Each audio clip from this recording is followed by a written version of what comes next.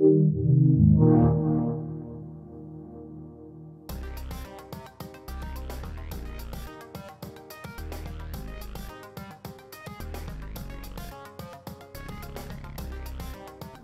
well, not necessarily the average Chinese citizen, but the average Chinese gamer.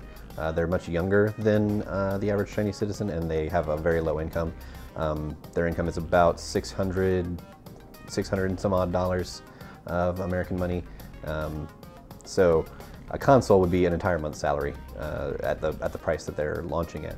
They might be able to afford it once it drops, um, but at least initially they're going to have a really hard time even buying into the console, and that's not including any games because China is so gigantic. You know, when you hear about these Chinese MMOs that have, you know, millions of users, and um, people are very used to playing free free to play games, and so those things get very large very quickly and, and easily. Um, by comparison, 100,000 units uh, is not amazing as a starting point to get the ball rolling. That's not terrible either. Uh, it just depends on whether or not it grows from there, or if that was like the initial boom, and then if it if it recedes from there, then that's really bad.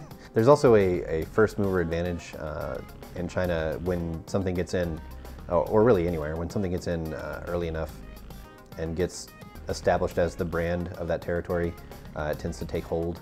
Uh, the classic example that analysts cite is Kentucky Fried Chicken, which is actually the biggest um, fast food restaurant in China even though we think of McDonald's as, as this huge uh, megalith across all countries, Kentucky Fried Chicken is really the, that, the version of that for China because they just got in there first before anyone else. By comparison, the Xbox One has sort of the first mover advantage in China right now because uh, they've, they've launched first. Um, the PS4 hasn't yet, Nintendo may never.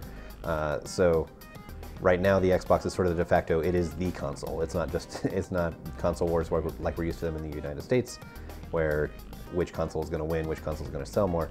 Um, it's basically a battle of our console is going to do well, and it's all based on this one, this one console that has a, has a shot at it, and the others are probably kind of watching that very carefully.